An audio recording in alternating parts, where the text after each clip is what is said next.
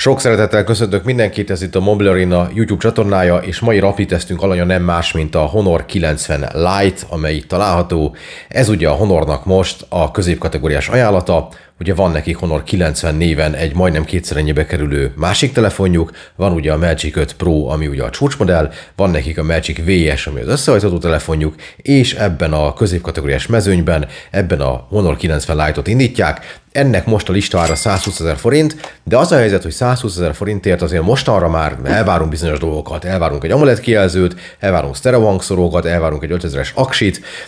elvárunk gyors hardvert, és hosszú szoftveres támogatást is, szóval meg egy jó kamerát, szóval, hogy azért itt már azért támasztanak az emberek elvárásokat, és a helyzet az, és ezzel egy kicsit előre lelövöm a point, hogy a Honor 90 Lite nem feltétlenül tud ezeknek az elvárásoknak megfelelni. Kezdjük azzal, hogy 120 ezer forintért egy olyan dobozt kapunk, ami hát ugye elég kulturáltan néz ki kívülről, de ha belenézünk, akkor a telefonon kívül gyakorlatilag semmi más nem fogunk találni, csak egy SIM-tűt és egy Type-C kábelt, mert a Honor is elkezdte azt az utat járni, hogy nem adnak tartozékokat a készülékekhez, sem egy, csó, sem egy tok, sem egy kijelzővédőfólia, sem egy töltőfej nincs a dobozban.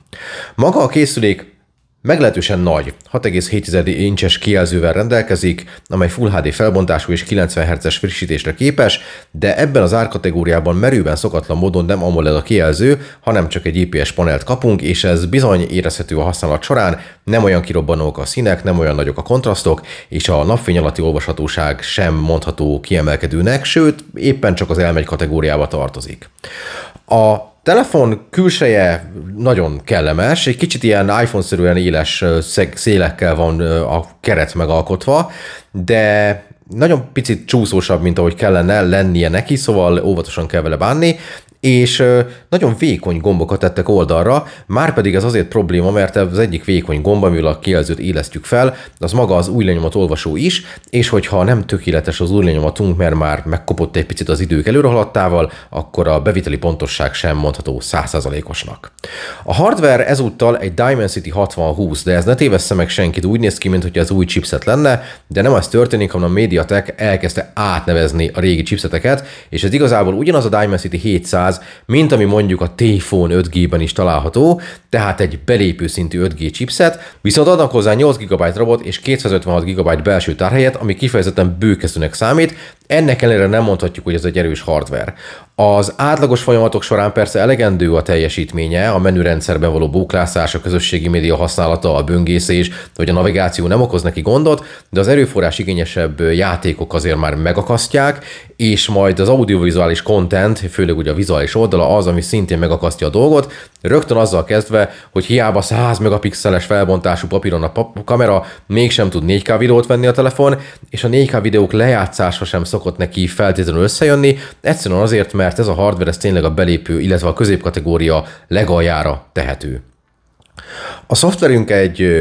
Android 13, viszont a biztonsági frissítés most így augusztus vége felé, még mindig májusi, ami nem vett túl jó fényt a Honorra. A, az a felhasználói felület, amit meg használunk, az ugye a Magic OS, ami a Honornak a saját felhasználói felülete, de igazából ez egy Emotion UI, ami még a Huawei írából erdeztethető, és aki már használt Huawei telefont az elmúlt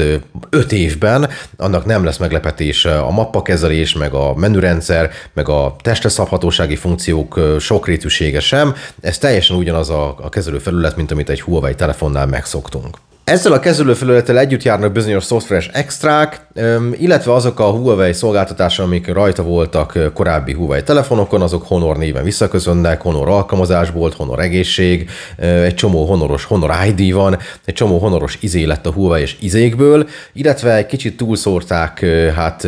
lényegtelen alkalmazásokkal a felületet, vannak demójátékok, meg trip.com, meg mindenféle olyan itthon kevésbé használt alkalmazások előre vannak telepítve, erre nekünk semmi szükségünk nincsen, és valószínűleg a felhasználók 98,2%-ának szintén nincs rá szükségük, szóval igazán lehetett volna egy kérdés a bekapcsolás előtt, hogy, vagy az első bekapcsolás során, hogy akarjuk ezeket vagy sem, és meglepő módon a FM rádió is az alkalmazások között, ami azért marha vicces, mert nincsen rajta jack csatlakozó, ami azt jelenti, hogy ha szerencsénk van, akkor van egy Type-C végű fülhallgatónk, és azzal tudjuk használni, ez sincs nyilván a dobozban,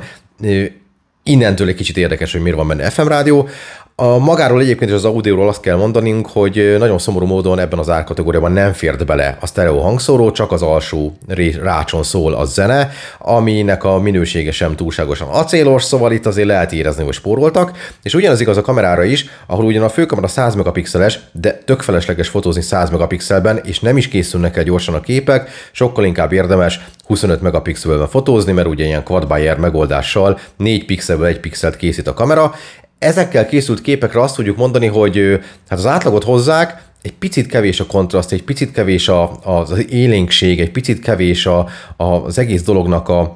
a, az élethűsége, kicsit fakóbbak, kicsit szürkébbek a felvételek, mint ahogy egyébként az a valóságban van. Sokszor pont ennek az ellenkezőre panaszkodunk akkor, amikor túlszaturált és túlhúzott képeket látunk, de ez a mérleg másik vége tehát mindenképpen ezen még lehetett volna javítani. Nincs benne zoom lencse, hanem ugye a digitális zoomot tudjuk használni, egy fokkal jobb, mint vártuk, de azért ez sem váltja meg a világot, és van egy 5 megapixeles ultraszéles kameránk, ami hát azért nagyon belépő szintű ultraszéles megoldás, és az eredményeken is látszik, főleg sötétebb környezetben hát meglehetősen használhatatlan. Van még egy 2 megapixeles makrokamera, igen-igen gyenge minőségű fotókat lehet vele csinálni. Viszont elég jó a selfie kamera, azzal korrekt önarcképeket tudunk készíteni, de azért összességben azt lehet mondani, hogy ebben az árkategóriában ez a kamerás felhozatal, a Full HD-ra korlátozott videófelvétellel és a hát felemás kamerás teljesítménnyel, hát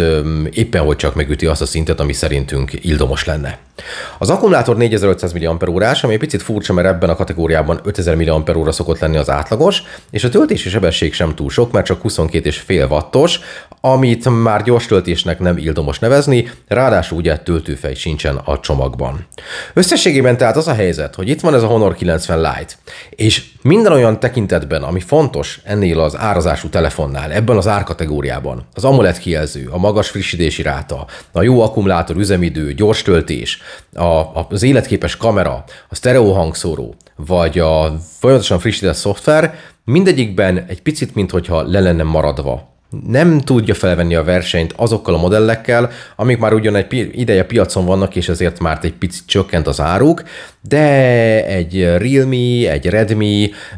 még egy Samsung is ugyanennyi pénzért hát bizonyos dolgok szempontjából többet nyújt, és hát van olyan ellenfelenek a telefonnak, mondjuk a Poco kínálatából, ami konkrétan minden szempontból többet nyújt, tehát azt lehet érezni, hogy ez a 120 ezer forintos ár, ez masszívan túlzó ezért a telefonért, de Honornak ugye szokása, hogy az Open piacon, tehát a kártyafüggetlen szolgáltatómentes piacon magas árazza a készülékeit, ellenben viszont hogy az operátori, tehát a szolgáltatói kínálat kínálatokban kedvező árfekvésű, csomagban elvihető eszközöket kínál, de a Honor 90 Lite-nál még ezt sem nagyon érezzük, mert nem igazán sokkal kedvezőbb ez a telefon szolgáltatói kínálatban, mint bármelyik konkurense, ami jóval többet nyújt nála. Ha ennél több információra van szükségetek, mérési eredményekre, tesztfotókra, tesztvideókra, akkor látogassatok el a mobilarenda.hu-ra, ahol ott van a részletes tesztünk. Ha pedig még hasonló rapid teszteket szeretnétek látni itt ezen a csatornán, akkor ne felejtsétek el megnyomni az összes gombot, amit a YouTube felkínál, és akkor nem maradtok le a következő tartalmainkról sem. Én most elköszönök, megköszöntöm a figyelmet, sziasztok!